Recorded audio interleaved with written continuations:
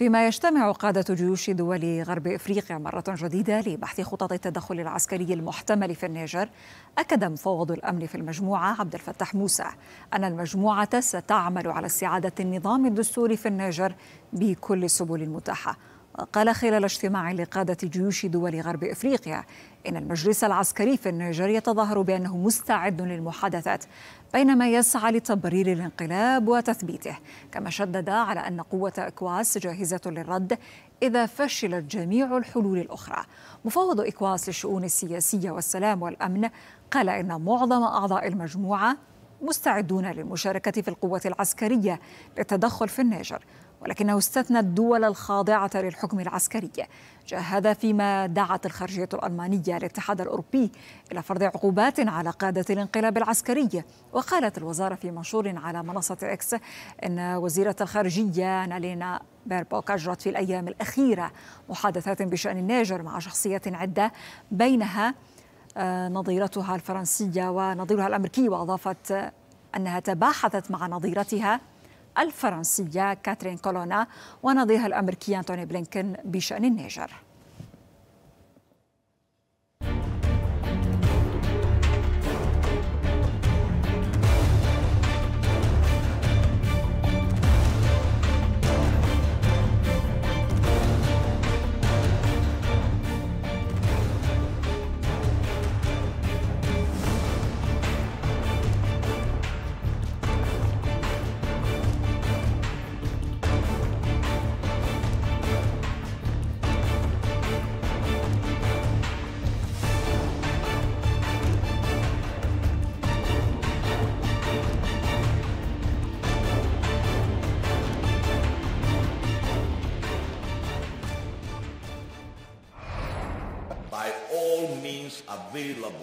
ما ينسونه هو أن المجموعة الاقتصادية لدول غرب أفريقيا هي منظمة قائمة على القواعد. لدينا بروتوكولاتنا وقواعدنا ومستعدون لحمايتها.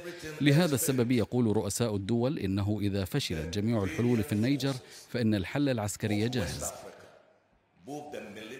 ومن جانبه أكد وزير دفاع غانا دومينيك نيتيول أنه لن يكون أحد في غرب إفريقيا بمأمن إذا أخذ القادة العسكريون رئيس النيجر رهينة. سوف تضعون خطة لضمان تفعيل القوات الاحتياطية واستعادة الديمقراطية في النيجر. لن يكون أحد في غرب أفريقيا بمأمن إذا أخذ القادة العسكريون رئيس النيجر رهينة. وللمزيد من التفاصيل والمعلومات حول ما يجري الآن في عاصمة النيجر نيامي ينضم إلينا موفد الحدث الخليل ولد جدود الخليل. أهلا بك. إذا الخليل فيما يتابع المجلس العسكري في النيجر مباحثات غانا لدول غرب إفريقيا إكواس. هناك حراك دبلوماسي كذلك في العاصمة في النيجر نيامي. حراك من قبل السياسيين الأفارقة مثلا وزير خارجية الغابون بالإضافة إلى رجال دين من نيجيريا. ما تفاصيل هذا الحراك؟ صحيح سارة في التزامن مع هذا الاجتماع للقادة العسكريين لوضع الترتيبات الأخيرة لعملية عسكرية يعتقد أن الإيكواس مصممة على القيام بها إذا فشلت الجهود السياسية والدبلوماسية للتوصل لحل سلمي لأزمة الانقلاب في النيجر.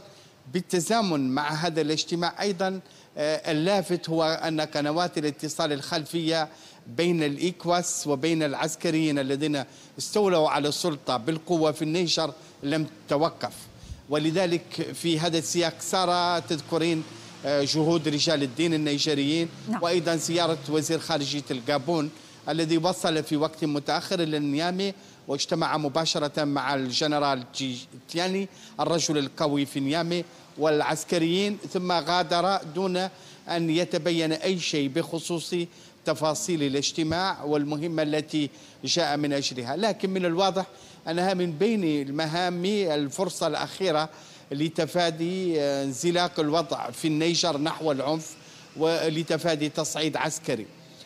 حسب المعلومات التي تردنا قادة الأركان بصدد وضع الخطة النهائية لتنفيذ هذا التدخل العسكري الإقليمي لكن في المقابل هناك مصادر تحدث أن هذا الاجتماع وكل هذا التلويح باستخدام القوة هو ورقة من أوراق الضغط لدى الإيكواس التي لا لا ترغب في اللجوء إلى استخدام القوة لكن في نفس الوقت تريد أن يمتثل العسكريون لمطالبها. مطالبها هي الإفراج فورا عن الرئيس المعتقل محمد بازوم وتمكينه من استئناف مهامه الدستورية والعودة إلى النظام الدستوري الذي كان قائما قبل الانقلاب في حين العسكريون يشترطون أولا للدخول في مفاوضات مع الإيكواس مفاوضات نعم. رسمية علنية للتوصل لاتفاق أن يتم الاعتراف بهم الاعتراف بسلطة الأمر الواقع وأن يتم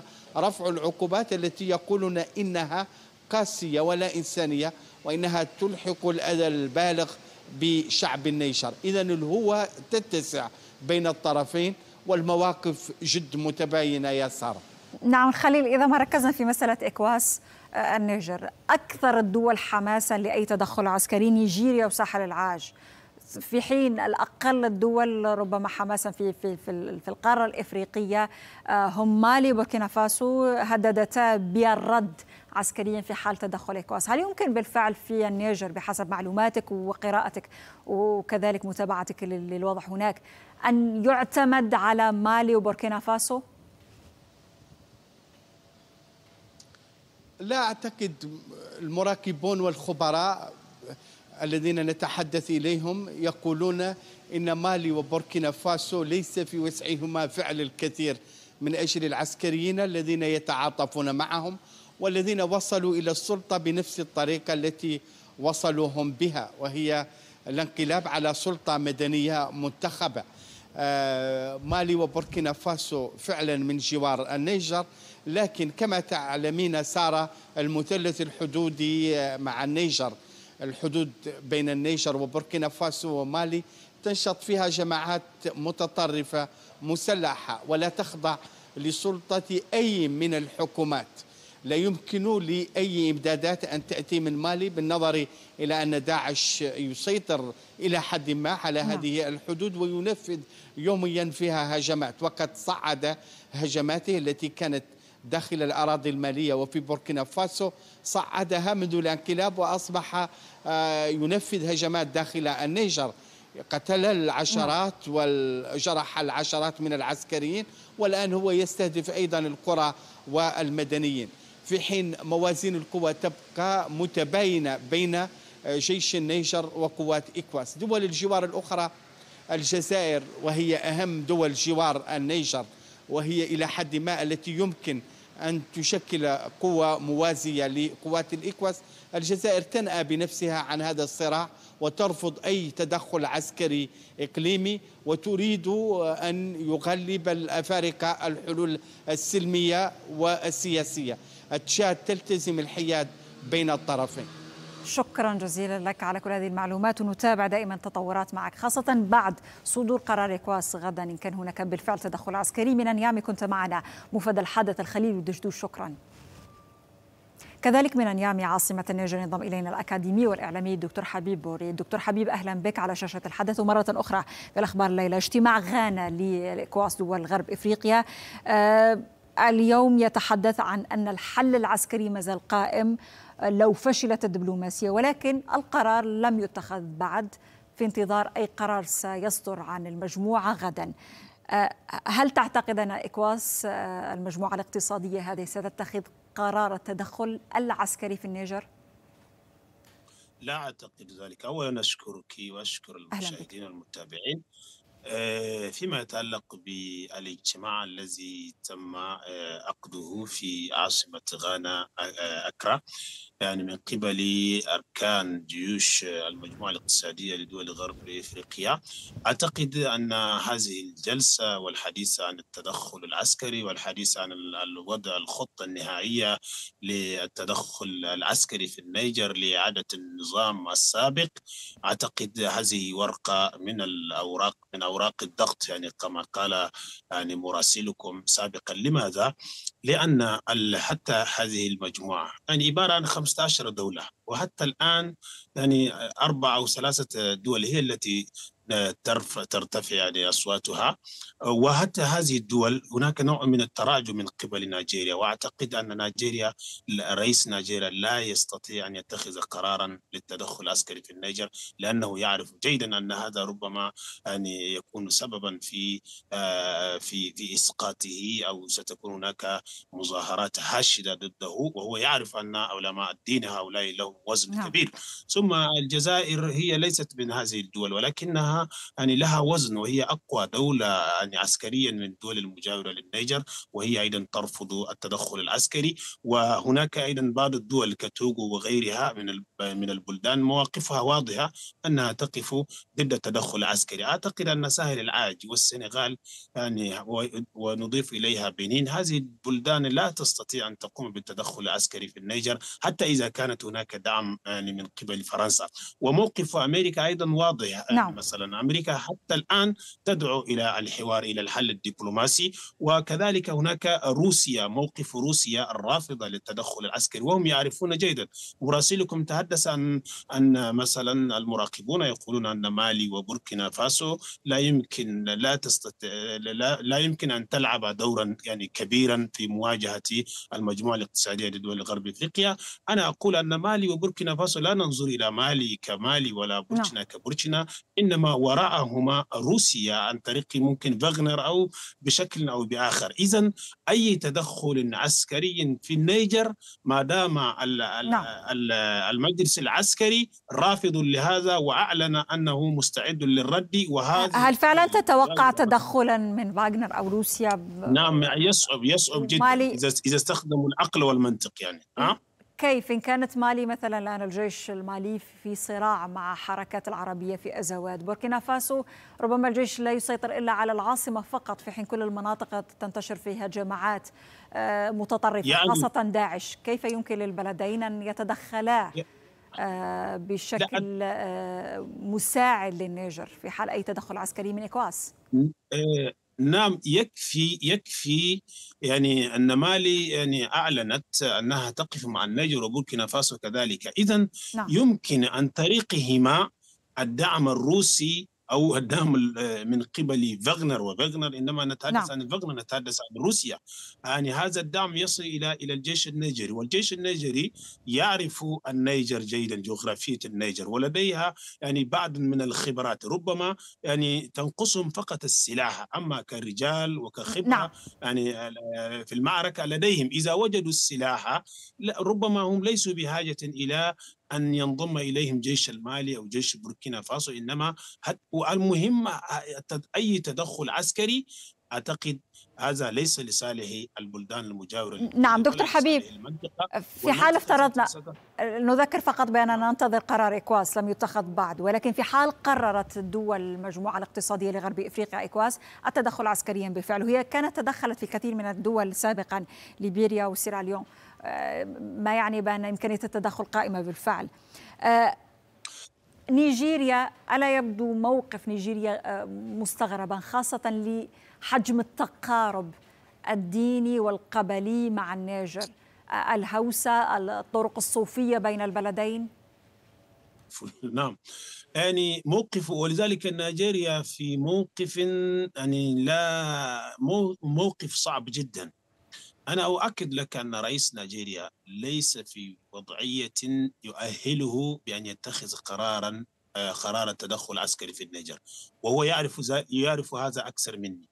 ولذلك أنا أستبعد تماما أن يكون أن تكون دولة نيجيريا طرف من من من القو... مثلا قوة نيجيريا قوة يعني من القوات التي تتدخل في النيجر نعم. هذا يصعب جدا نظرا للوقوف شعبي ضد هذه الفكرة وكذلك قيادات المجتمعية الدينية القوية التي لها وزن. كل هذه القيادات أعلنت عن موقفها ورئيس نيجيريا يعرف هذا جيدا ولديها مشاكل عديدة في داخل نيجيريا وبدون نيجيريا. ولكن نيجيريا أساسا اتخذت خطوات قوية ضد النيجر بينها قطع الكهرباء.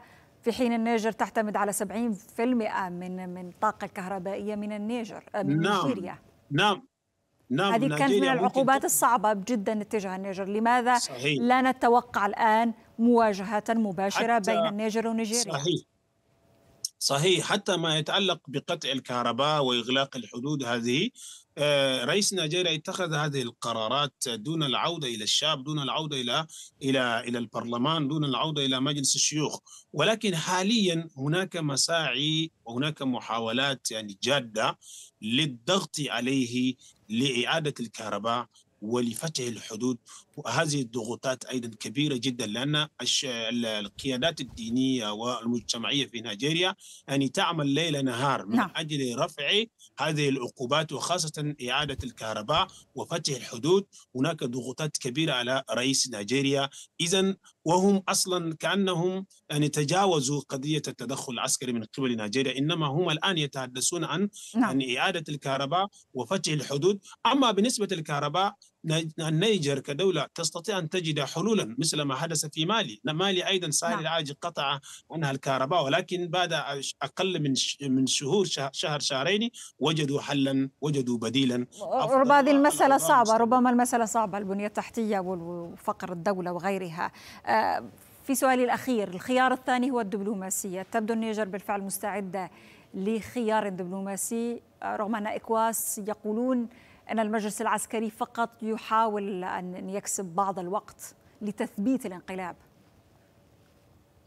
أنا أرى أن آه، الحل الدبلوماسي هو الحل المنطقي والعقلاني حقيقة وهذا يمكن جدا إلا إذا كانت هناك مثلا ضغوطات غير عادية كما نشاهدها من قبل فرنسا وفرنسا الشعوب المنطقة يعرفون جيدا أن فرنسا لا تسعى ولا تتحرك من أجل مصلحة نعم. النيجر أو بازم أو شعب المنطقة أو شعوب المنطقة إنما من أجل نفسها ولا أعتقد أن رؤساء هذه البلدان يعني تقبل أن تكون خادمة آه، أن يكونوا أن يكونوا في خدمة فرنسا إلى هذا إلى هذا الحد لأن نعم. التدخل أي تدخل عسكري نعم. يخرب ولذلك الحل يتمثل في الحوار وفي عن طريق الدبلوماسية والمفاوضات. شكرا. هذا هو الحل المنطقي والمقبول ويمكن جدا. شكرا جزيلا لك. كنت معنا من عاصمة النيجر نيامي الاكاديمي والاعلامي الدكتور حبيب بوري.